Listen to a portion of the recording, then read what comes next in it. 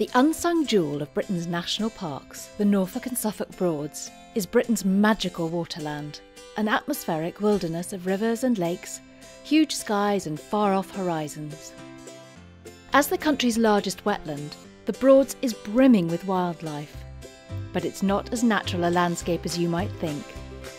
The area's three main rivers, the Yare, Waveney, and Bure, flow into larger expanses known as Broads, which are the outcome of centuries of peat digging during the Middle Ages, then flooded permanently as sea levels rose.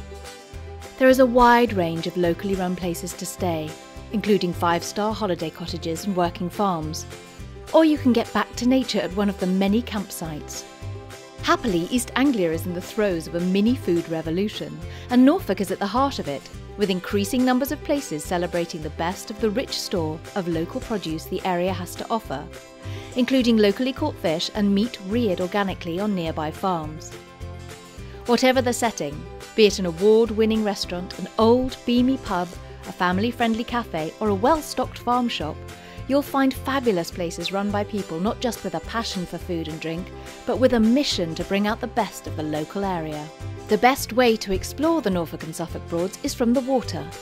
Hire a dayboat or canoe, take a guided canoe tour of the region's wildlife, or take a skippered wooden dinghy for a spot of sailing from one of the many boatyards.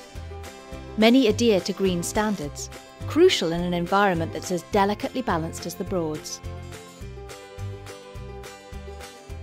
You can also explore the area by walking or cycling the gloriously flat countryside around the network of bridleways, well signed footpaths, and cycleways through designated nature reserves, taking you right into the heart of this unique region.